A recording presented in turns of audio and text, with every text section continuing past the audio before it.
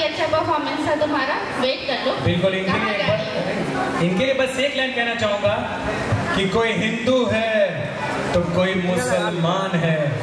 लेकिन एक सच्चे कलाकार के लिए तालियाँ ही भगवान हैं। बहुत ही शानदार परफॉर्मेंस फालतू you. काम सबनी का फालतू खराब हो।